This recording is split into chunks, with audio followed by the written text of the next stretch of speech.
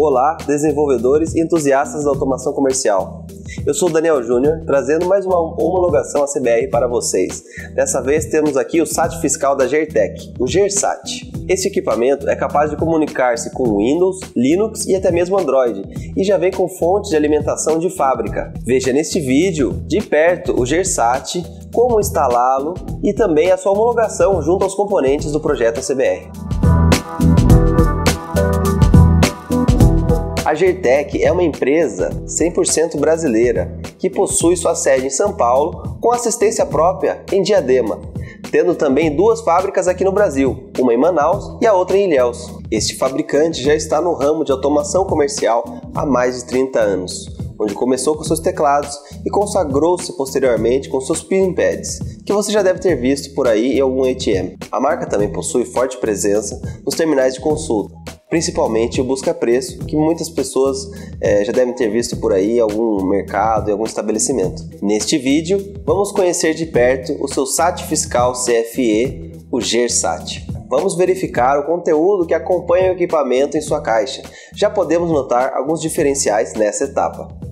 Temos aqui então um aparelho GERSAT, um cabo USB, um cabo de rede, um folheto com instruções e código de emergência do GERSAT.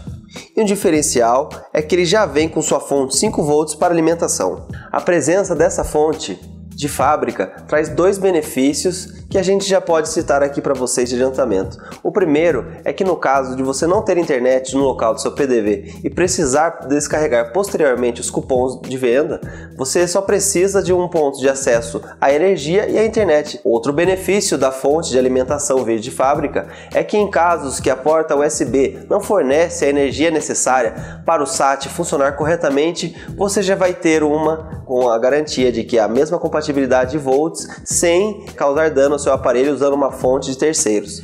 Agora é hora de conhecermos o aparelho SAT em si. É bastante importante a gente lembrar que esse modelo que nós temos aqui é um modelo de homologação, ou seja, ele só é disponibilizado para desenvolvedores, software houses e órgãos públicos. No caso do SAT comercializado no varejo, ele vai possuir a cor preta fosca. Ele possui duas conexões Ethernet, conexão mini USB e entrada de energia para a fonte de alimentação. Ele possui uma chave de liga-desliga, que é muito útil na prestação de suporte, um botão reset.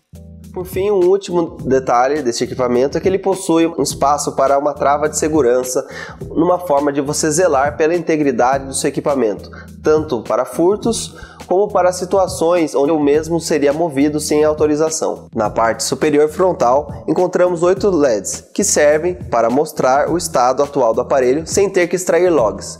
Consulte o manual do equipamento no relatório para saber mais detalhes sobre cada LED. Então chegou a hora de vermos ele em funcionamento. Vamos fazer uma instalação rápida, no caso de você precisar do driver ou do próprio ativador do fabricante a homologação junto aos componentes do projeto ACBR e verificar alguns outros testes. Estamos agora no nosso ambiente de testes e o nosso SAT, GERSAT, já está conectado ao computador. É, vale lembrar que temos um relatório completo com muito mais detalhes e alguns outros testes que realizamos para você estar conferindo. O link está aqui na descrição desse vídeo. Ou se você não estiver assistindo esse vídeo em outro lugar, confira no fórum do projeto ACBR a, a seção de equipamentos testados. Bom, vamos lá começar então essa homologação. Eu estou aqui no site do fabricante é, onde você encontrará para download os drivers e DLLs que você precisará para fazer esse equipamento funcionar. Clicando aqui no botão de downloads, é, você vai ser redirecionado para a seção onde, clicando nesses ícones, você baixará cada um é, de acordo com a necessidade que você tiver.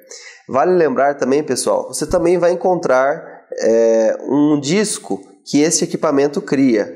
E dentro desse disco, nós já temos aqui alguns dos recursos que nós encontramos no site, mas vale sempre a pena a gente verificar a versão é, dos arquivos que temos aqui no disco que vem com o equipamento com a, a do site. Vamos continuando aqui a homologação e instalando primeiro o nosso driver para fazer esse equipamento funcionar corretamente. Eu estou usando o Windows 10 e quando você pluga ele aqui no computador, ele é reconhecido como uma porta serial. certo? Pelo, pelo emulador virtual dele. Então vamos agora instalar o driver para fazer né, o computador reconhecer ele propriamente.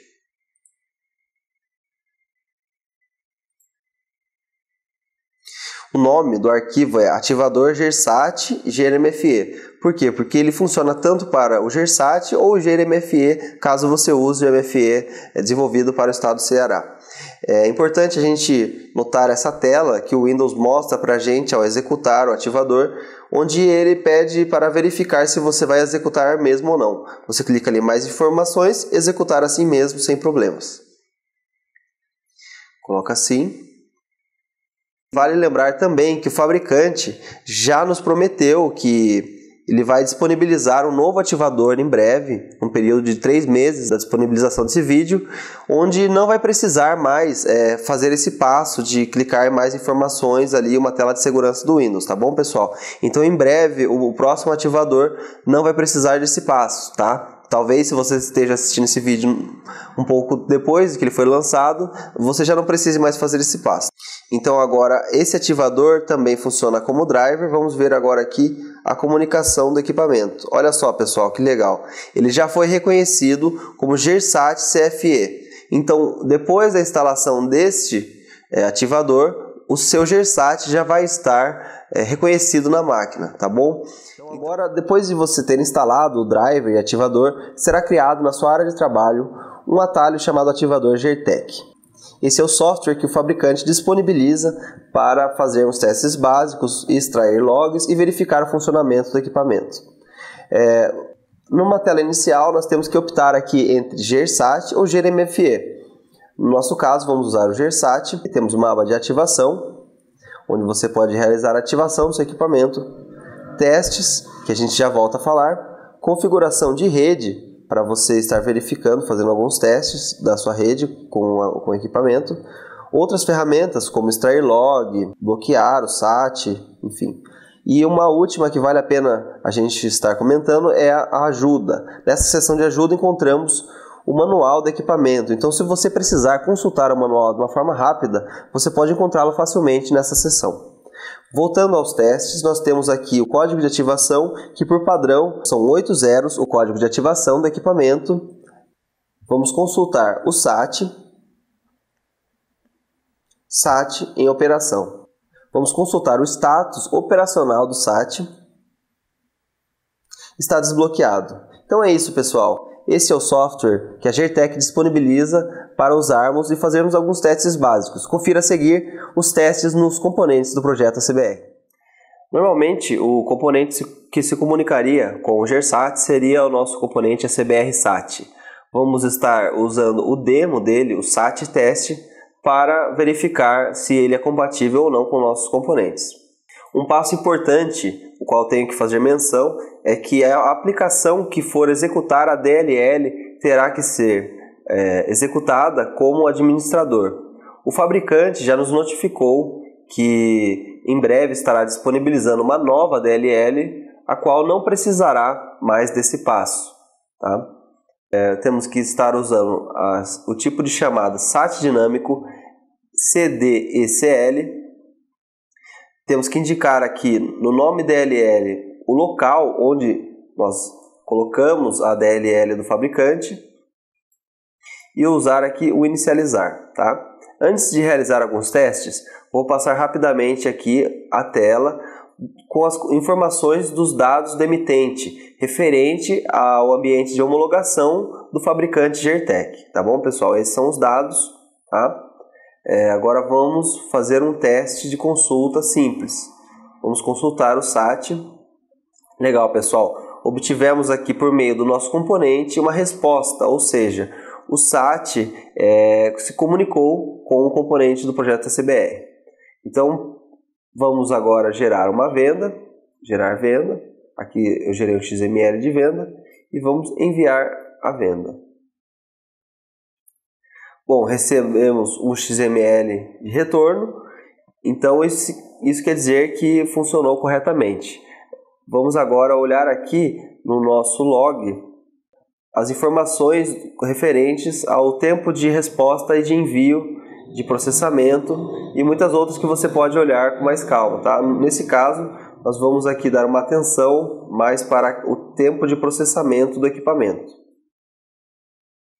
Aqui no nosso log, nós temos aqui um tempo de processamento de 1,29 segundos para uma quantidade de 3 itens na venda.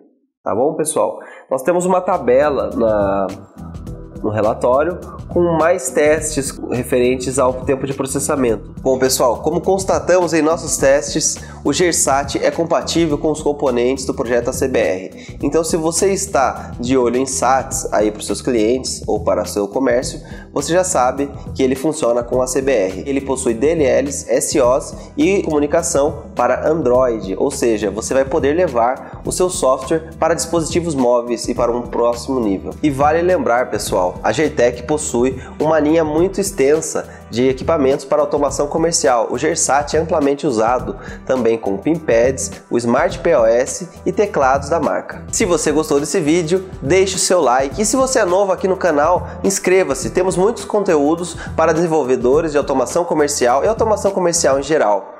É, se você usa o projeto ACBR comercialmente, se você usa ele em sua solução, assine o saque do ACBR, que além de você ajudar a manter o projeto ACBR, você terá muitos benefícios extras. Até mais!